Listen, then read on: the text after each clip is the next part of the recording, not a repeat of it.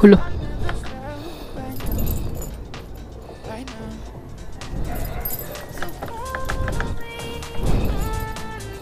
Walang answer back. Wala ding ano, yung key.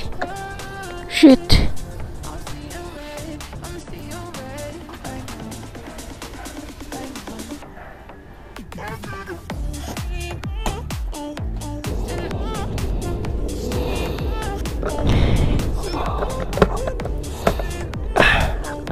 Hey, what's up mga kabit?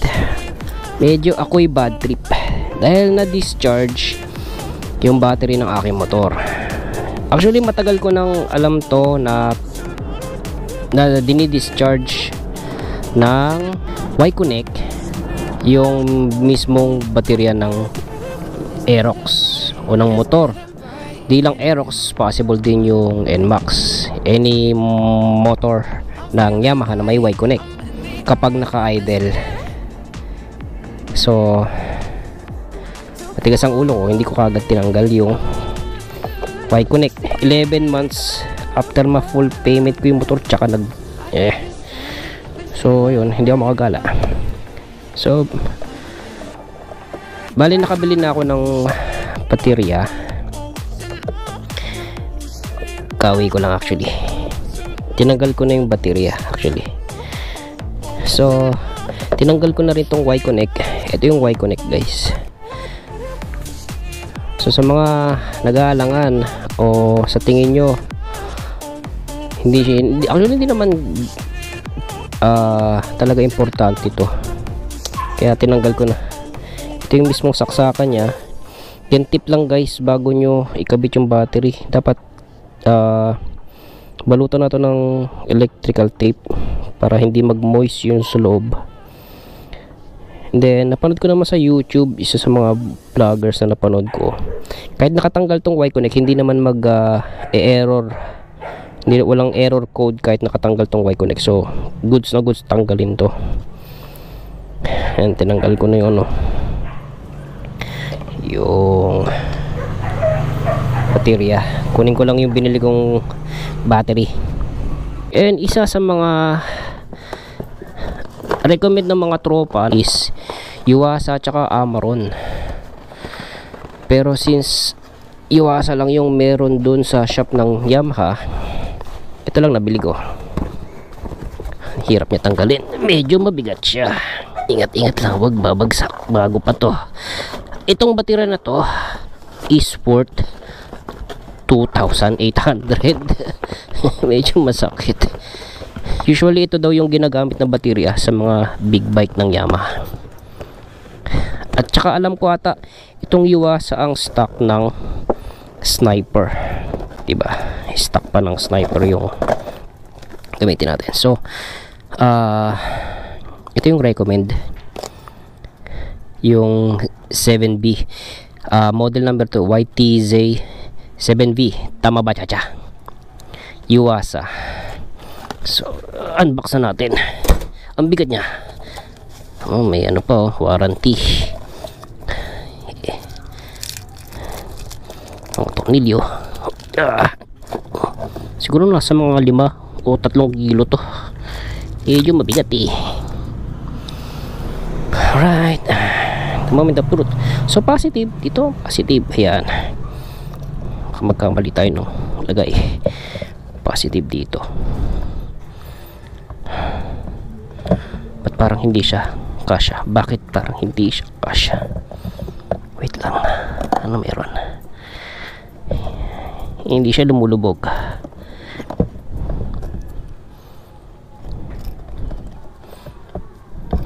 yun lumubog lumubog lumubog lumubog uh.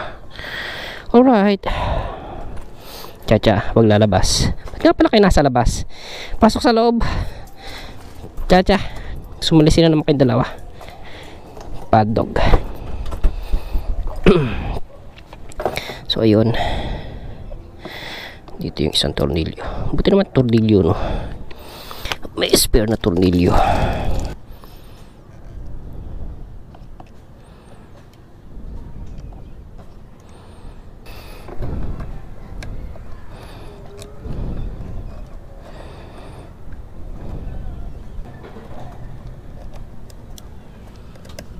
So ito yung connection ng Y-Connect para sa Y-Connect at ito yung Y-Connect.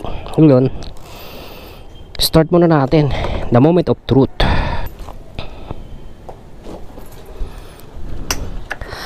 Ayun. Ah, gumagana na siya. Yes. Sa wakas.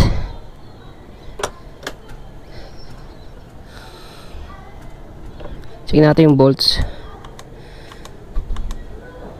Battery volts 11.9. Pag in-start natin, supposed to be dapat nasa 12 to 13 to. O 13. 13 volts. Or 13 watts, I guess. 14 pa nga, ang taas, di ba? nung una pa lang, nung huling tingin ko dito, naka-idle siya. Nasa 12 siya.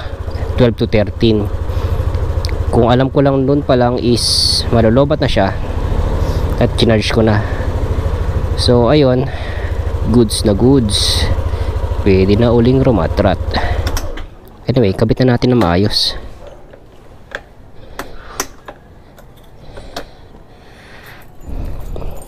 Disconnect natin. Din alright. Diba? Ganun lang So Y-Connect Pack Q Kakabit ko pa ba to? Hindi na. Pampabigat, parang pampabigat na lang to eh.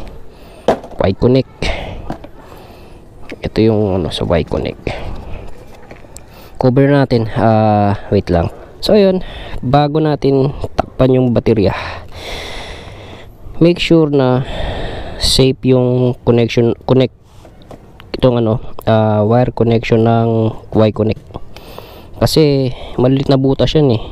Pag nalamigan yan magmumoist yan sa loob. Hindi natin masabi baka magkaroon ng error baka dyan pa masira yung ano, wirings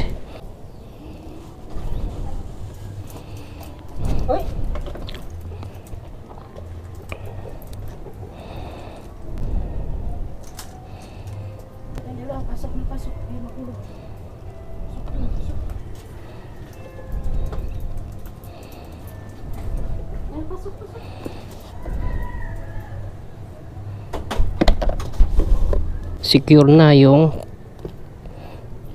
uh, connectivity o yung ano mismong uh, socket ng pinagkakabitan ng Y-Connect para lang hindi siya mag, mag moist masyadong maliit kasi yung butas sa pinagkakabitan. So siguro kahit nakaganyan lang yan or what sige gawa natin ng paraan to. Kasi alog-alog to eh. Gagawin ganun yan pag nagmotor tayo. So which is maingay. Ayan ganyan. Ganyan basta wag lang siya mababasa talaga. Alright. Ito sa battery cover.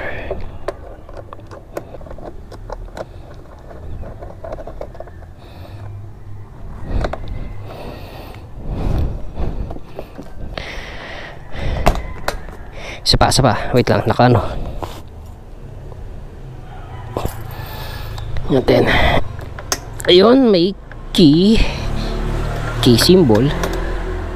Ha? Start. Alright. So ayun lang guys. Hanggang dito lang po ang aking vlog. Sana may natutunan kayo. Especially sa mga motor na hanggang ngayon nakakunik pa rin yung Y-Connect mag-isip na kayo. Tanggalin nyo na hanggat maaga pa. Hanggang dito lang po ang vlog ko. Ako nga pala si Beat. Keep safe. See you on the road. Ciao guys. Yes. Gala tayo